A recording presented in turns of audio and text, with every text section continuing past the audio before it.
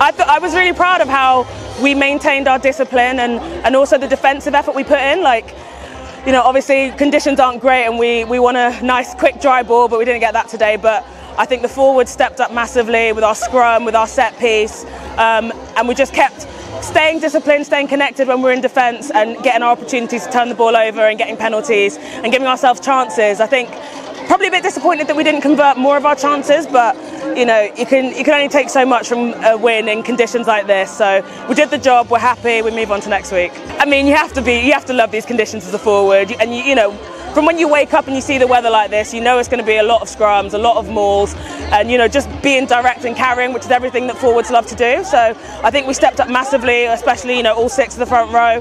We had real ascendancy in the scrum, and we were able to back that up in the second half as well.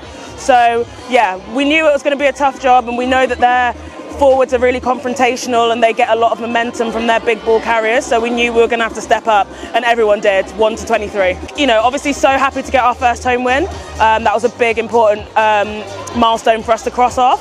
And now, yeah, we've got to take momentum into the remaining four weeks before Christmas. Um, obviously, next game looking looking at Gloucester away. That's never an easy match, and we've had some real challenging encounters with them um, over the season. So We'll obviously take the learnings from this game. It wasn't perfect by any stretch, but we'll take the positives, we'll work on the negatives, and we'll head first into Gloucester and see what happens. I was half expecting just it to be Dave and Tom in the stands and no one else, but yeah, we know our fans are amazing. Like, they come out rain, shine, winter, summer, like, and they're always loud, they're always vocal. We heard the drum a few times, and that that's the energy that we need. And you know, when we're under the pump and the rain's blowing and the wind's in our faces, like their voices are what keeps us pushing and keeps us driving to the edge. So yeah, shout out to our fans as always. They're amazing.